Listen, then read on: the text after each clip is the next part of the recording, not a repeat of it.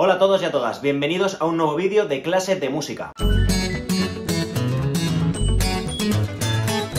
Recupero esta sección brevemente para hablar de, por fin, mi músico favorito. Hoy hablaremos de Mike Oldfield. ¿Por qué es mi músico favorito y por qué le apodaron algunos como el nuevo Mozart? Ahora lo veremos. Para empezar, quiero que sepáis que Mike Oldfield era el típico niño o adolescente o adulto, da igual en la época que lo pilles, incomprendido, quizá un poco solitario, callado. Podría decirse que era como el típico niño al que decías, Mike, bájate a jugar al parque. Y él decía, no, estoy componiendo una nueva sinfonía, con 8 años. En fin, Michael Finn nace en Reading, Inglaterra, en 1953. Su primer amor, hablando de instrumentos en este caso, fue la guitarra, la cual descubre gracias a su padre. Le llama la atención y ya empieza a interesarse por saber cómo se toca. Sus hermanos también eran músicos y por eso forma, junto a su hermana Sally, el grupo Sally Angie. La música que hacían era folk, un estilo así pues muy suave, muy happy, ya entonces se dejaba entrever una guitarra espectacular. Y mira que era jovencito ahí.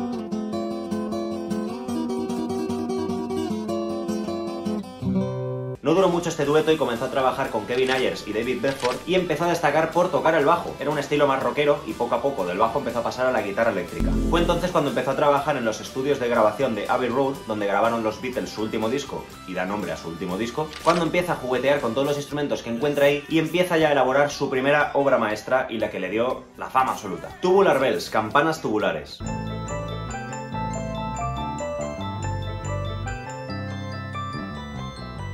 Una vez grabada la maqueta, que sería por así decir como el boceto de lo que sería el disco, junto con Tom Newman, ingeniero de sonido, deciden grabar el disco en un tiempo récord y empieza a tocar la puerta de todas las discográficas.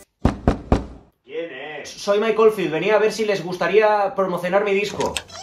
A ver, cuenta. Sí, pues mire, se trata de una obra de 40 minutos dividida en dos partes de 20 cada una. No tiene voces, es todo instrumental.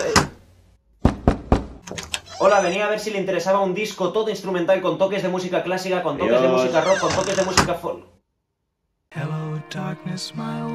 Nadie entendía su obra, por aquel entonces no se llevaba prácticamente la música instrumental, hasta que llegó a manos de Richard Branson, el multimillonario propietario de la empresa y marca Virgin. El caso es que Richard Branson en aquel momento no era nadie, no tenía nada, solamente quería montar una empresa. Decidió hacer su propia marca, llamándola Virgin, y lo petó.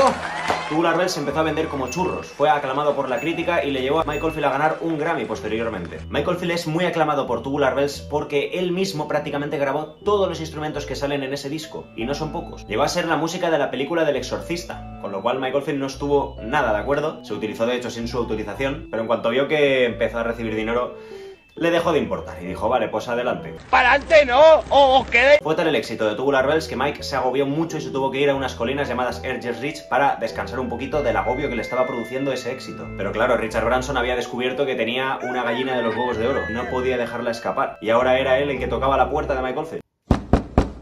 Mike, Tubular Bells ha sido un éxito. ¿Cuándo piensas componer el segundo disco? No, solo me quieres por mi música. Mike, piénsatelo, podríamos ser muy ricos. ¡No! ¡No!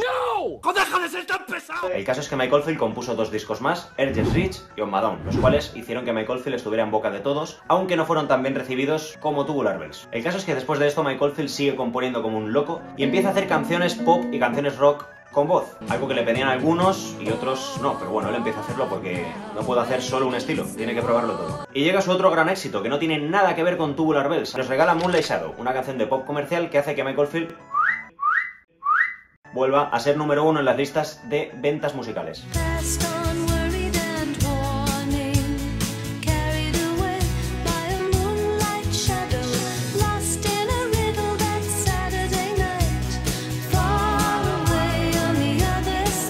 El caso es que pasa el tiempo, avanza, avanza, avanza, avanza. Nos situamos a finales de los 90, donde Michael Field empieza a estar quemado con la discográfica Virgin, con Richard Branson, y por eso llega Amarok, un disco que prácticamente todos los fans aman, pero que los que no son fans ni siquiera conocen. ¿Por qué? ¿Por qué? ¿Por qué? Se trata de un disco instrumental de 60 minutos, sin ningún tipo de corte, con millones de estilos musicales, millones de instrumentos, cambios impresionantes. Y claro, Richard Branson, que todo esto pues no lo acaba de ver y estaban un poco enfadados entre ellos, decide no promocionarlo. Michael Field tampoco habla mucho de este disco, y es quizá el mejor disco de Michael Field.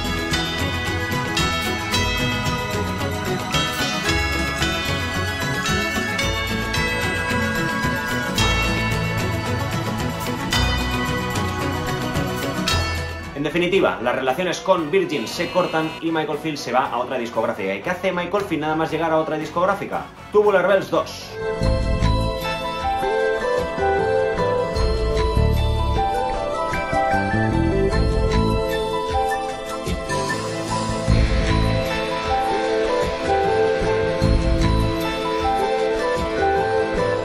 Tubular Bells fue un éxito, decide hacer la segunda parte, volver a relanzar la carrera de Mike Oldfield después de su último gran éxito, que fue Moonlight Shadow. Pero a partir de este disco empieza una travesía que a muchos fans no les gusta demasiado, la etapa Warner, en la que Michael Field pues, saca muchos discos, pero no acaba de gustar a la mayoría. A mí me gusta, pero entiendo que a los demás les cueste más digerir toda esta etapa, porque Michael Field se vende un poco. ¿Qué quiere decir que se vende? Hasta ahora Michael Field había sido un artista único, genuino, un estilo en sí mismo. Hacía lo que le pasaba por aquí dentro. Pero en toda esta etapa empieza a ir hacia las modas. ¿Que se llevaba un poquito la música celta? Pues él hacía celta.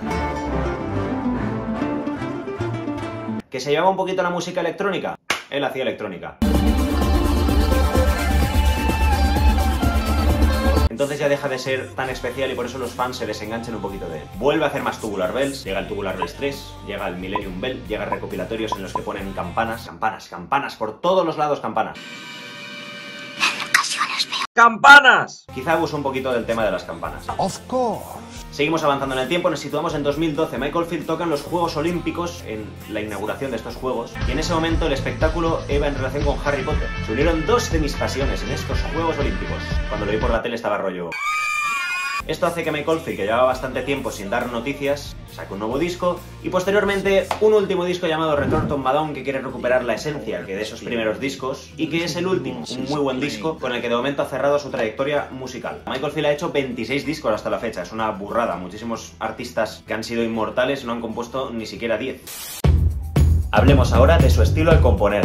Como habréis podido comprobar es música muy variada, no obstante sí que se puede entrever un poco su estilo. Su instrumento favorito es la guitarra, de eso no hay duda. Siempre que toca la eléctrica le encanta tocar las notas más agudas, más chillonas. Con eso eh, Michael Field se puede ver incluso a veces que se emociona tocando ese tipo de notas tan agudas porque para él le transmiten rotura, le transmiten mucha fuerza. También toca muy bien el bajo y otros instrumentos de cuerda, como bien pueden ser el arpa, como bien pueden ser el ukelele, la mandolina. También toca el piano, no es ningún virtuoso, pero lo toca bastante bien. Y también toca bastante la percusión, sobre todo instrumentos de láminas y un instrumento tradicional irlandés llamado bodhram.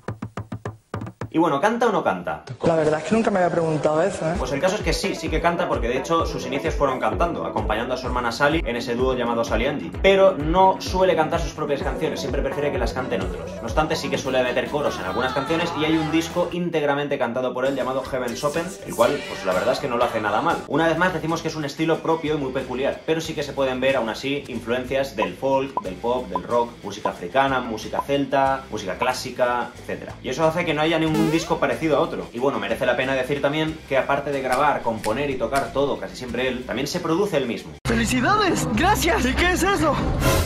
¿Qué significa producirse el mismo? Yo puedo ahora mismo darle a un botón y grabo esto. Vale, ya lo he grabado, pero ahora hay que producirlo y puedo hacer que eso suene así. Producir es editar la música, editar los sonidos, hacer que suenen más fuertes, más bajos, cambiar los sonidos. hacer que uno suene por el auricular derecho, otro por el izquierdo. Es una labor muy compleja que hay que saber y es muy complicado. Y con esto llegamos a las anécdotas, la parte final. Número 1. Amarok, su disco más desconocido y a la vez su mejor disco para muchos fans, incluido yo, incluye algunas partes en los que manda a Richard Branson a... Igual no es correcto que lo diga, pero es que literalmente es lo que hace. Hay un fragmento en el que utiliza el lenguaje Morse, código Morse, en el cual la duración de ciertos sonidos se identifican con letras del abecedario.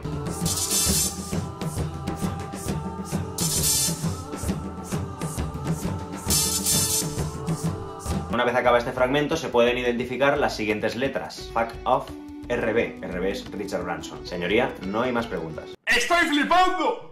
Estoy flipando. Lo gracioso es que Richard Branson no se enteró de esto y no dudo que con los años al final sí que se ha acabado enterando. Pero pese a todo siguen siendo amigos ahora mismo. No son íntimos, pero bueno, tienen una buena relación y se respetan mucho. 2. Michael Field no es compositor de bandas sonoras de películas, como sí pueden ser John Williams o Hans Zimmer. Pero como Tubular Bells se utilizó como música para la banda sonora del Exorcista, mucha gente lo asocia a eso. Pues bien, de sus 26 discos solamente hay uno que sí que se utilizó para la banda sonora de una película, Killing Fields, Los Gritos del Silencio.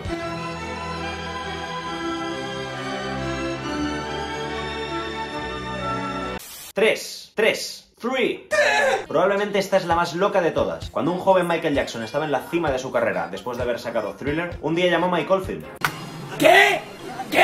Soy Michael Jackson, ¿te interesa hacer alguna colaboración conmigo? Ah, Michael Jackson, claro, claro.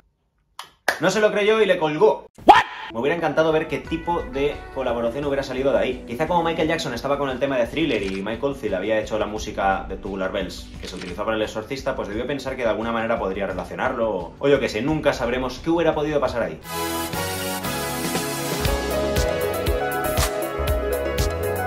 Y hasta aquí el vídeo de hoy. Este vídeo ha sido algo más largo de lo normal, pero es lo que tiene hablar de tu ídolo. Espero que os haya gustado. Nos vemos pronto con otro vídeo más, sea de clase de música o de lo que sea. Adiós.